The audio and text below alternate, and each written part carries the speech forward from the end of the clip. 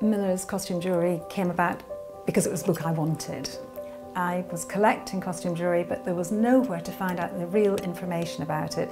The designers, the factories, what was made, when it was made. Was phenomenally popular in the 1920s and 30s. A lot of the good designers that worked for the, the upscale precious jewellery makers like Cartier and Van Cleef & Arpels in the Great Depression, they moved to costume jewellery. And so you got the same designs that had been in rubies and diamonds, now made in, in glass.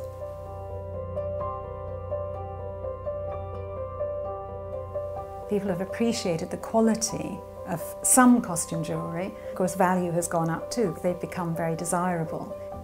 In the book, we've covered most of the main costume jewellery designers. People like Joseff of Hollywood, which is the designer of this pin, um, designed for all the film sets. And so people who saw the films wanted to buy the same as their favourite movie star.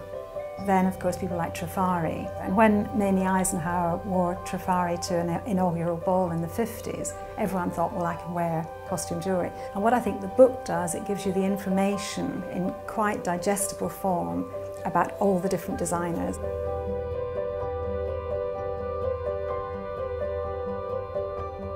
In the book, we also cover unsigned pieces. We also look at people who are making costume jewellery today. We also have features like Good, Better, Best, which show you how to tell a better piece and then the very best piece of a particular designer. 256 pages, it's beautiful, informative and compulsive. The trouble is you then start buying costume jewellery and that can be expensive. I must have three to 400 pieces.